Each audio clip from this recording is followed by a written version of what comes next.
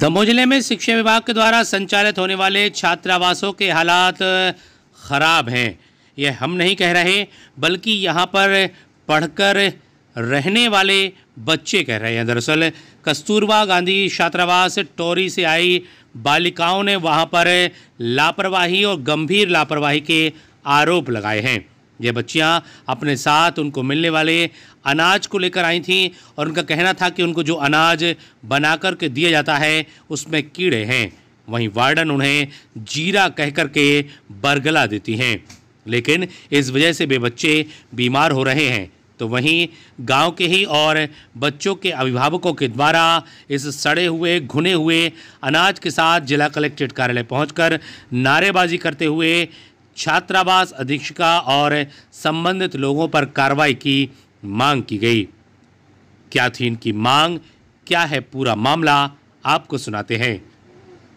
Asian reporter Shantanu Bharat की report.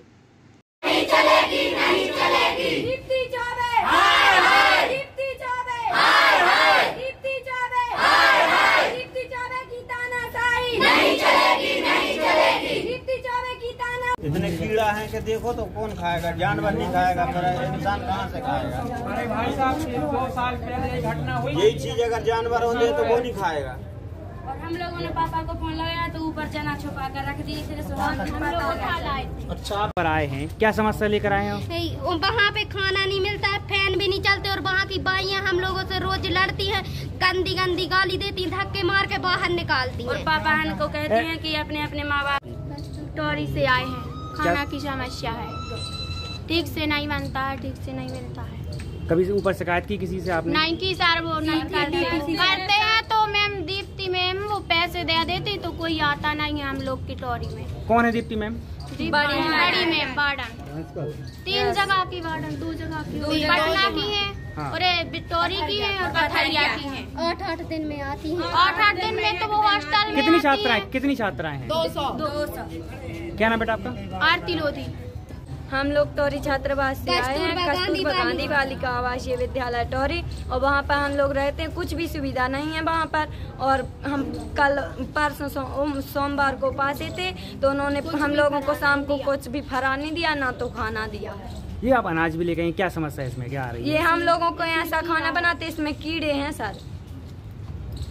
भैया हम कस्तूरबा गांधी आवासीय विद्यालय से आए हैं वो छात्रावास से टोरी से।